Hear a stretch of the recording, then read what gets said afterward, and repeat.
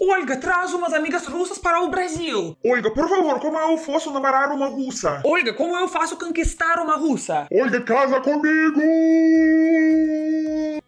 Oi, gente, tudo bom com vocês? Meu nome é Olga e sou russinha que estuda português e também estuda alguma coisa sobre os corações dos brasileiros e dos brasileiros. E hoje eu vou responder uma pergunta de um milhão de dólares. Afinal, como conquistar uma russa? Nossa, eu ouvi essa pergunta mil vezes e agora chegou a hora. Por isso já deixa o seu like, inscreve-se no canal, ative o sininho e prepara aquele caderninho para escrever as dicas que eu vou dar até agora. A Operação Cupido está na área. Também vai ter sorteio neste vídeo, então assiste até o final para ganhar o presente. Bom, é claro que não existe um método único que serve para todas as pessoas. Pensando bem, eu fui numa loja nesses dias em São Paulo, no centro da cidade. E eles lá vendem algumas sabonetes com nomes Chama o Amor, Corrente do Amor, Sabonete Amarra Marido, é, sei lá. Mas vamos falar em métodos um pouquinho mais tradicionais, né? Com certeza existe algumas qualidades que as mulheres russas valorizam muito. Na verdade, acho que pode ser as brasileiras valorizam também. E muitas dessas qualidades bem simples encontrar nos homens brasileiros. Serial! Então não fica tímido e acorde aquele amante latino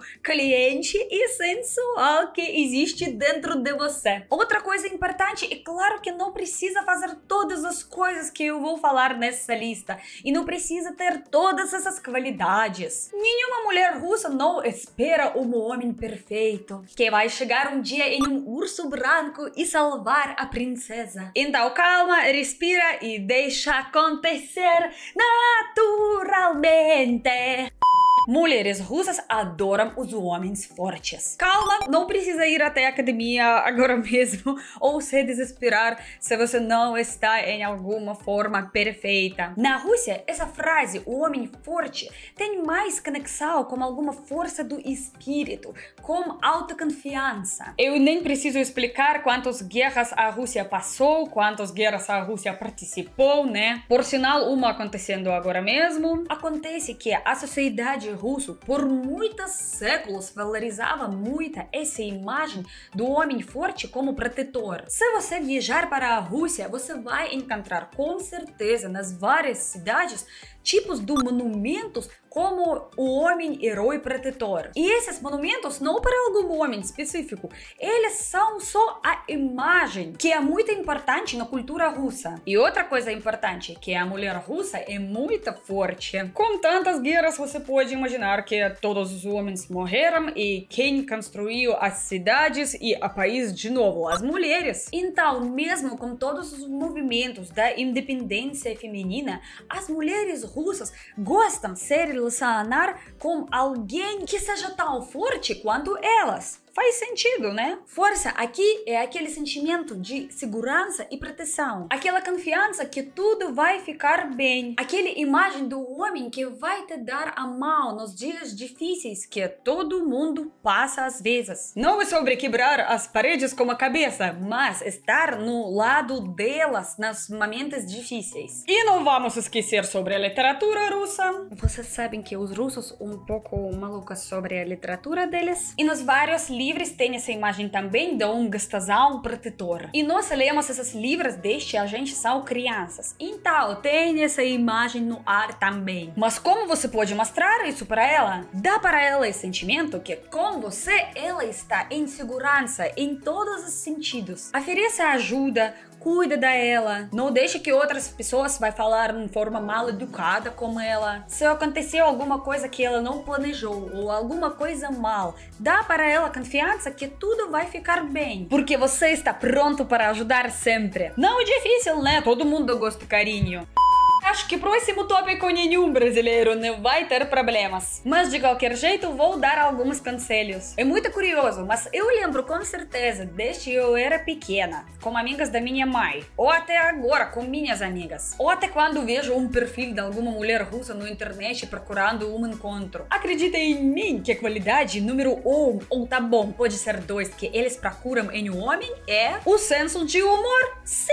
É claro que todo mundo tem absolutamente diferente diferente senso do humor e tudo depende da sua mulher. Mas o que eu quero dizer? Sinta as vibes, usa o seu humor e vamos lá. Mas por favor, sem piadas sobre o tio de pavê. Você sabia que na Rússia o exército é obrigatório para todos os homens, ao menos um ou dois anos? E claro que eu acho essa coisa tem grande influência na toda nossa sociedade na Rússia. Com todas essas regras do exército que faz os homens na Rússia ficar um pouco de ser engraçado. E isso o que nós mulheres russas odeiam. Provavelmente agora você entende porque existe muita grande falta dos homens desses tipos na Rússia. Mais espontâneos, mais engraçados, com boas piadas. Eu não queria cantar isso para vocês, mas preciso confessar que uh, as mulheres nós na Rússia às vezes sentem um, um pouco entediada com isso típico homem da Rússia. Tão sério, com cara assim e sobrancelhas assim.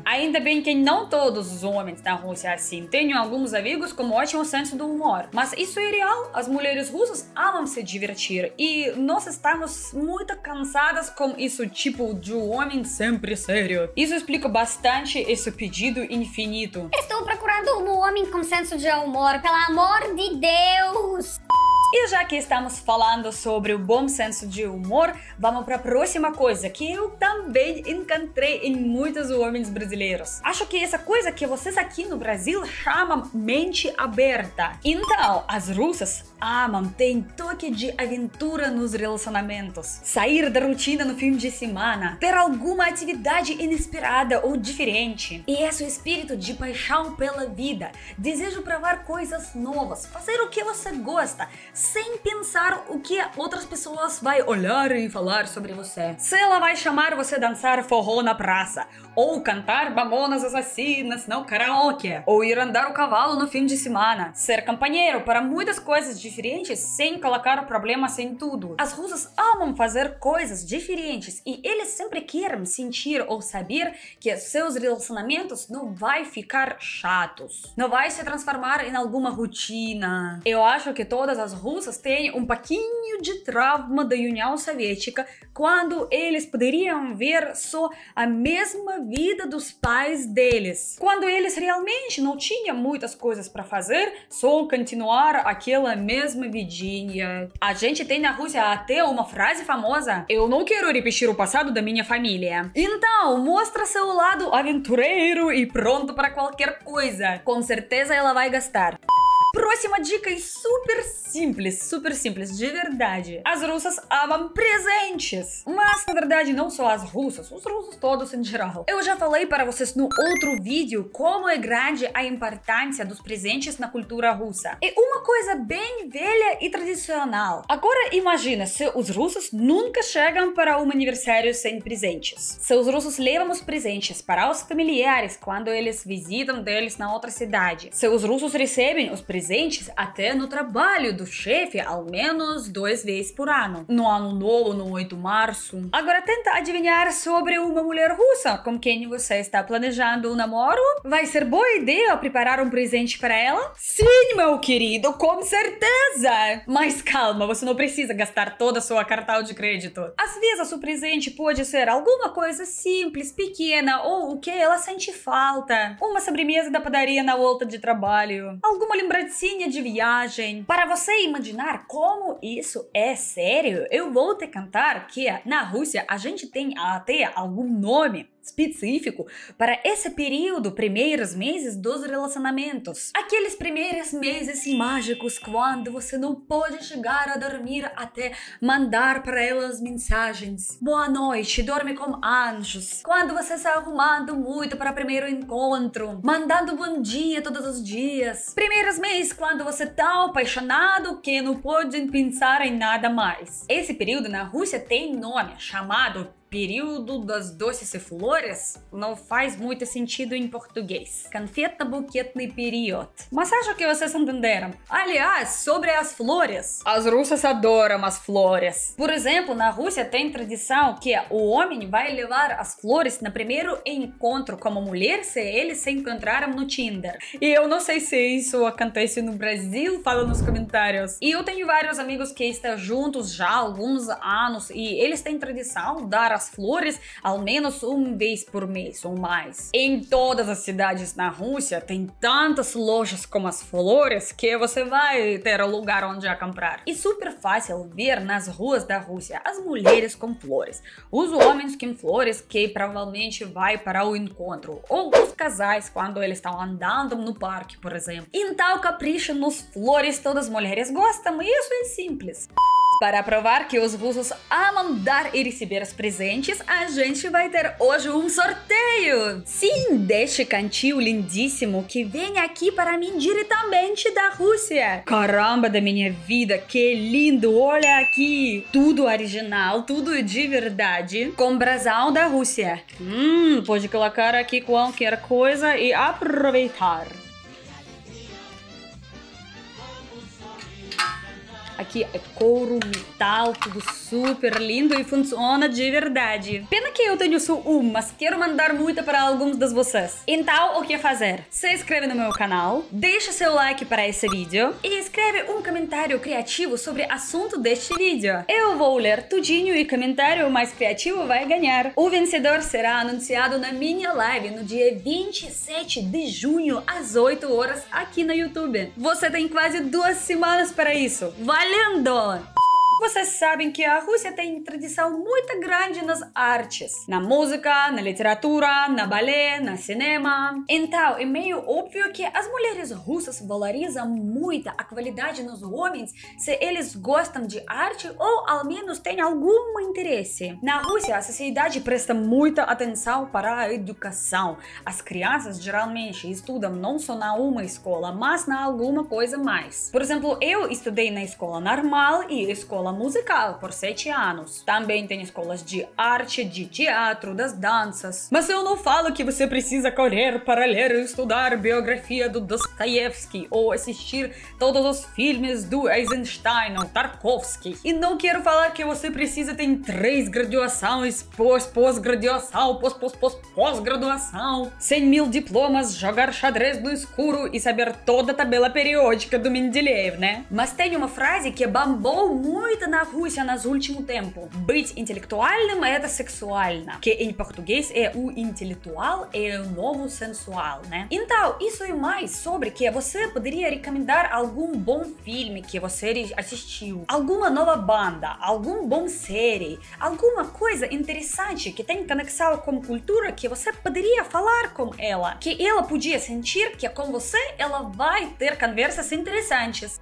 Mais uma dica como conquistar uma russa. Faça churrasco! Brincadeira, não preciso fazer exatamente churrasco, mas cozinhar alguma coisa seria legal. Eu sempre percebo que os cozinheiros principais, mais famosos chefes do mundo são homens, né? Você já percebeu isso? Então, essa tendência já chegou na Rússia e eu até não sei como explicar para vocês, mas as mulheres realmente prestam atenção e valorizam muito os homens que podem fazer alguma coisa na casinha. Alguma coisa que está na moda agora na Rússia. Mais uma vez, não precisa cozinhar algum prato super complexo com muitos ingredientes para cozinhar seis horas com as ervas específicas do floresta amazônica. Pode ser algum prato simples, pode ser algum prato da sua família e você já vai ganhar muitos pontos na tabela do conquistador dos corações. Porque cozinhar para alguém é também cuidar da pessoa, é algum processo muito íntimo que a gente às vezes não presta atenção, a gente às vezes até não pensa nisso, mas na verdade ela vai valorizar, ela vai perceber. E na verdade isso é tão legal, carinhoso que tem até conexão com o primeiro ponto que eu falei sobre a proteção. Então, queridos, vale a pena se esforçar e aprender ao menos alguma coisinha. Se por acaso você é um desastre da casinha, não se preocupe, só prepara alguma aquela lista dos restaurantes, dos lugares no iFood para pedir rapidinho se vai precisar no momento.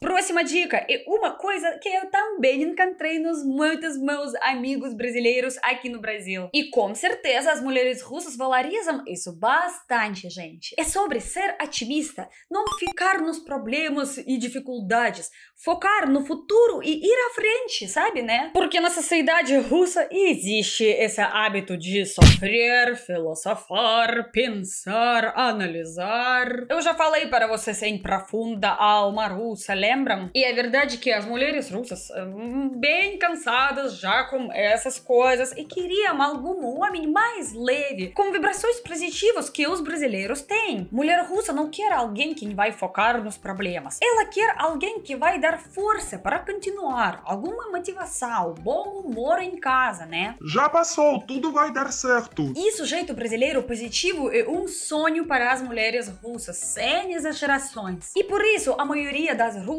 amam os brasileiros, mas não só as mulheres, mas os homens também. Eu percebi aqui no Brasil que todos os brasileiros têm essa habilidade de não focar nos problemas, não ficar com depressão se alguma coisa mal aconteceu e sempre ter força para ir à frente. Então, meu querido, eu acredito que nesse ponto você não vai ter problemas. Agora, com essas dicas, você já pode tentar conquistar uma russa, mas onde encontrar? Mais simples é Tinder, VK ou algumas outras redes sociais. Eu posso falar para vocês com certeza que as russas gostam dos homens brasileiros, então você já tem alguns pontos positivos. Vai, acorde Don Juan que existe em você, ou Dom João, eu ainda não sei. E boa sorte! Se por acaso alguma coisa vai dar errado, não me culpa, não estou nem aqui, viu? Nunca nem vi. Não, nunca nem vi. E o teu nome? Nunca nem vi. Apoie o vídeo com o like e vamos se encontrar no próximo. Beijo no coração, gente. Até mais. Tchau, tchau.